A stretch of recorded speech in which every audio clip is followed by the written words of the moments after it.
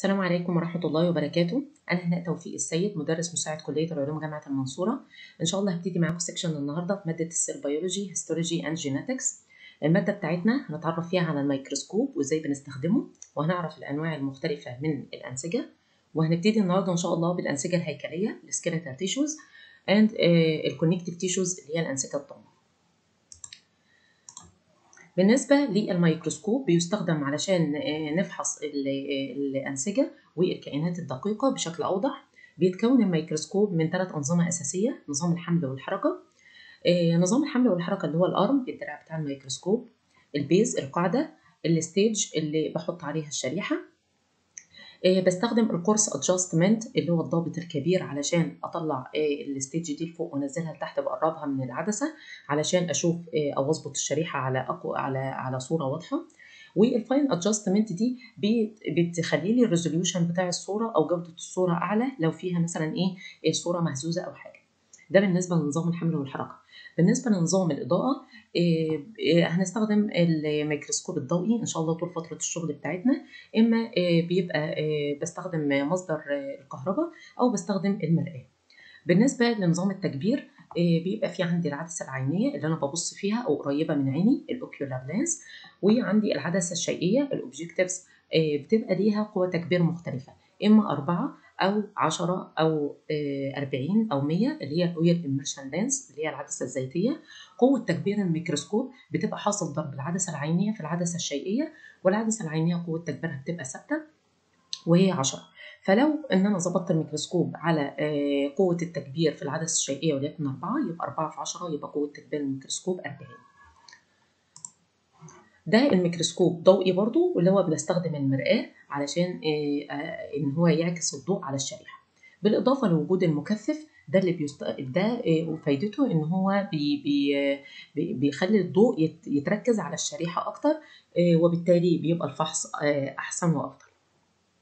هنشوف دلوقتي طريقة فحص شريحة تحت الميكروسكوب أو إزاي بظبطها. أول حاجة ببتدي أشغل نظام بشغل زر الإضاءة. زي ما حضراتكم شايفين كده فالضوء عندي اشتغل. بعد كده بجيب الشريحة وبظبطها بحطها على ال stage أو المسرح. بحرك دي كده بالشكل ده علشان أظبط الشريحة أو تثبت الشريحة على ال stage.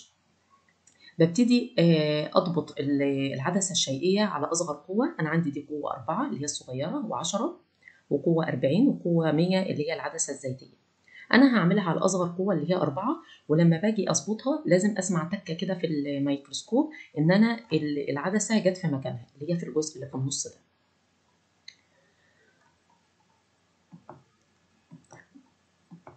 بعد كده أنتوا شايفين الضوء اللي فوق ده بيبقى فيه عندي هنا العصاية الصغيرة دي بتتحرك قدام وورا دي بتقلل لي الإضاءة اللي طالعة للشريحة بالشكل ده شايفين الإضاءة بتقل إزاي؟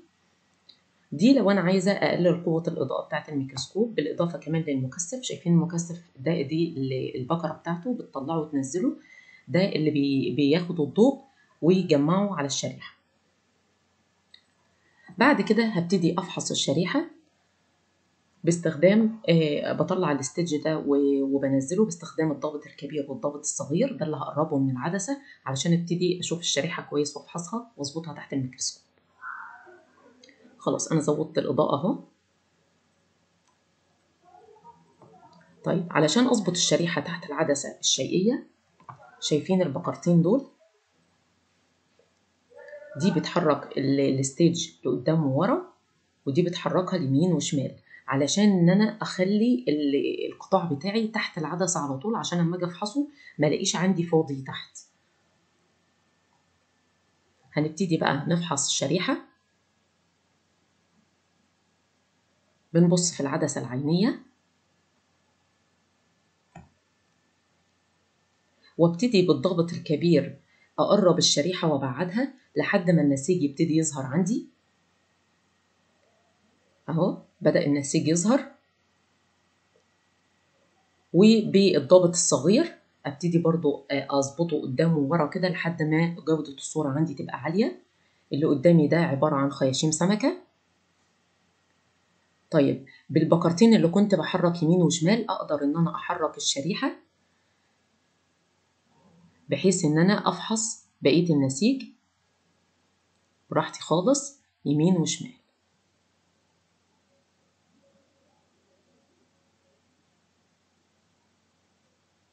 وبرضه بالضغط الصغير أبتدي أظبط الريزوليوشن بتاعي. ده الضابط الكبير. وده الضابط الصغير.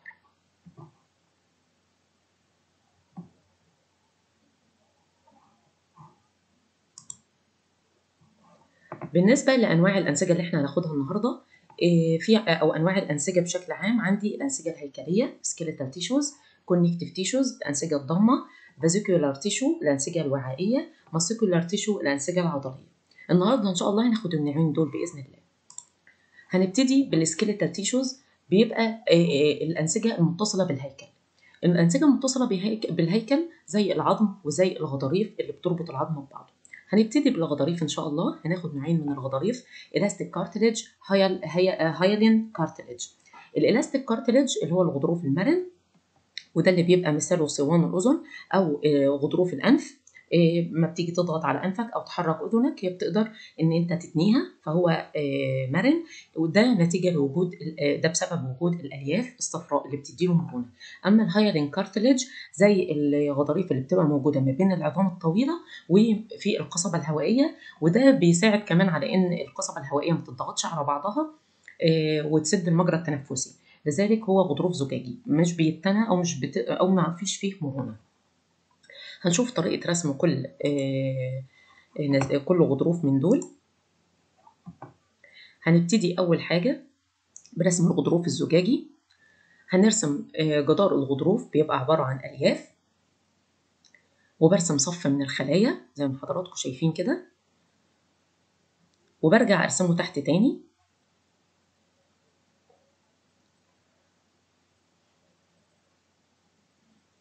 ده بيبقى اسمه جدار الغضروف بريكوندريوم. بيوجد عندي بعد كده محافظ غضروفية إما المحفظة بتحتوي على خلية غضروفية واحدة أو خليتين أو أربع خلايا. دي اسمها لاكيوناي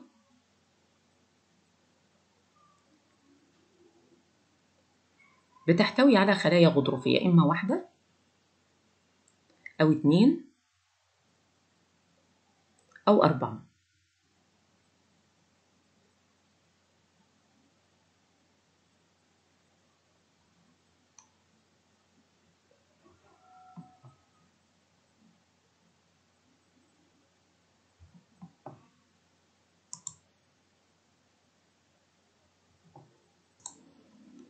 ودي عبارة عن الكوندروسايت بالنسبة للخلية اللي بتحتوي على أو المحفظة اللي بتحتوي على أربع خلايا بنسميها عش خلايا. طبعا أنت هتكرر الرسمة بتاعه المحافظ الغضروفية بالخلايا كذا مرة لحد ما تملى القطاع. ده بالنسبة لل hyaline cartilage بالنسبة لل elastic cartilage هي هياها نفس البيانات بنفس المكونات بتاعتي ولكن الاختلاف الوحيد هو وجود الألياف المرنة الصفراء هي دي اللي بتدي مرونة للغضروف. ودي بتبقى عبارة عن ال yellow fibers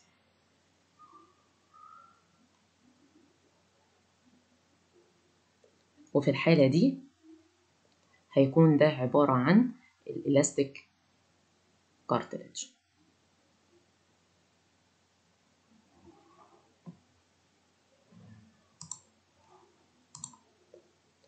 بالنسبة للعظم إحنا تبع الأنسجة الهيكلية دلوقتي.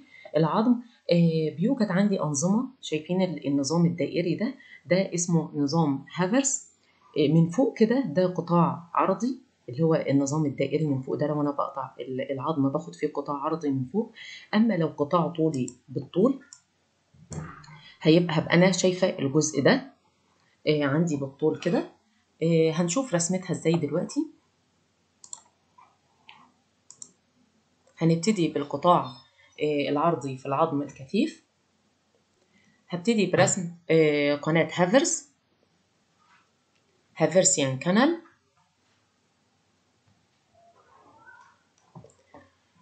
بيبقى في حواليها المحافظ العظمية في شكل صفائح دائرية كده.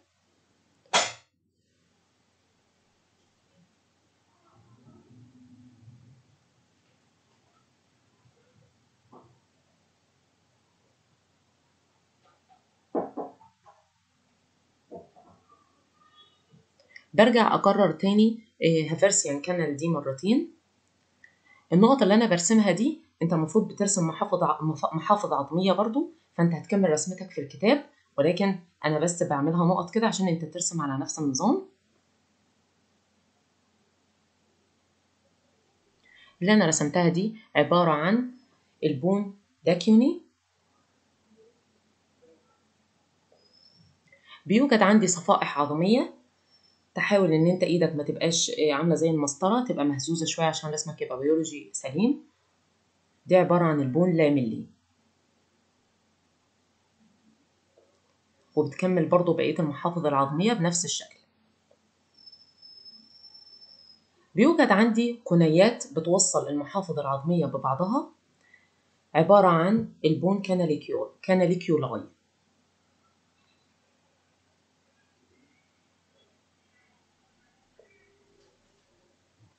بيبقى في قنوات موصلة بتوصل أجهزة أو أنظمة هافرس ببعضها عبارة عن قنوات موصلة connecting canal.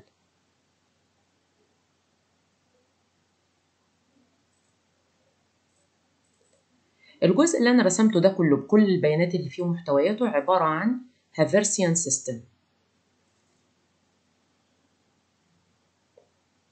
نسبة للعالم اللي, اللي فحص الجزء بتاع العظم ده ويسمى الجزء ده باسمه. بيوجد عندي بعض المحافظ العظمية بتبقى مرتبة بشكل عشوائي ما بتبقاش موجودة في الصفائح الدائرية اللي حوالين قنوات هافرس وبتوجد برضو ليها آه، صفائح عظمية. بالشكل ده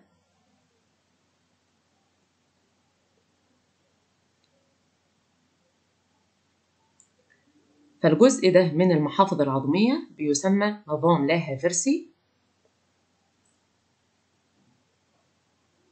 هافرسي non-Haversian system.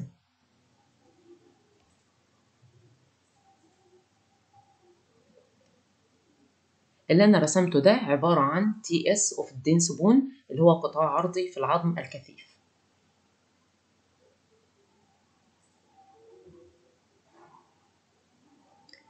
طيب بالنسبة للقطاع الطولي هي بتبقى نفس البيانات ولكن قنوات هافرس بتبقى واخدة شكل طولي بالشكل ده. ببتدي أظلل قناة هافرس بالشكل اللي أنتوا شايفينه ده بالظبط. طبعا انت ظلله آه، كامل في في الكتاب بتاع العملي.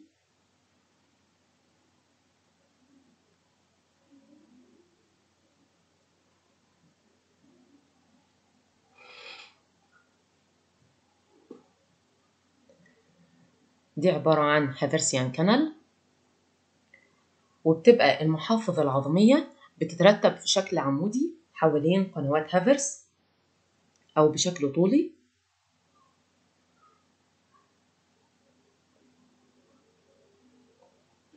وبرضو حضرتك هتكمل الحاجات اللي أنا عاملة مكانها نقط دي هتبقى كلها عبارة عن محافظ عظمية.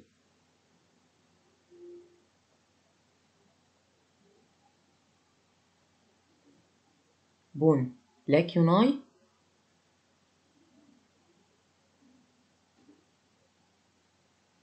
وال bone lamellae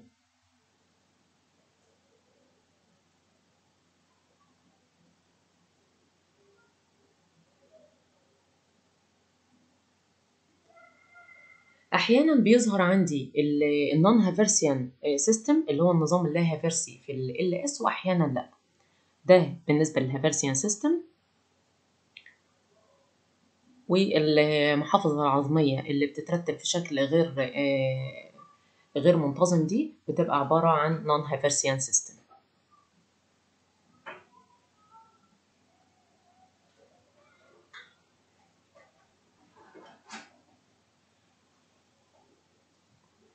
وده عبارة عن ال LS of ال dense bone قطاع طولي في العظم الكثيف.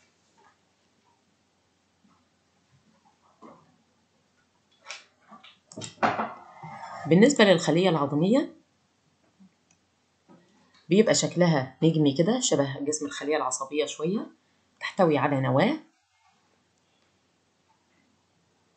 وبتحتوي على زوائد بروتوبلازمية protoplasmic processes.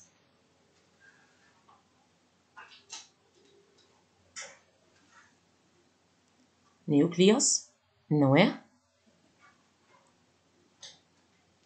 protoplasmic processes.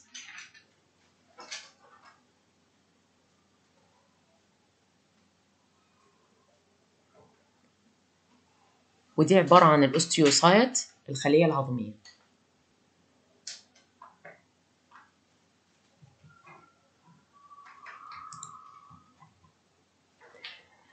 كده آه، إحنا خلصنا الرسومات بتاعتنا. هنبتدي نعمل لها فحص تحت الميكروسكوب. هنشوف مع بعض كده شكلها. ده بالنسبة لل hyaline cartilage المثال بتاعه زي ما إحنا قلنا في القصبة الهوائية للأرنب ده المثال اللي إحنا جايبينه. آه، كبرناها دي على قوة أربعة بعد كده على قوة عشرة. آه، طبعا إحنا بنقول على قوة أربعة بنضربها في العدسة العينية يعني على قوة أربعين. آه، دي في القصبة الهوائية برضو بتظهر بالشكل ده ودي المحافظ الغضروفية والخلايا الغضروفية. أما المثال اللي تحت ده بالنسبة للغضاريف اللي موجودة بين العظام الطويلة. ده ال elastic cartilage زي ما أنت شايف وجود الألياف المرنة واضحة جدا في القطاع ده. والمثال بتاعنا قلنا صيوان الأذن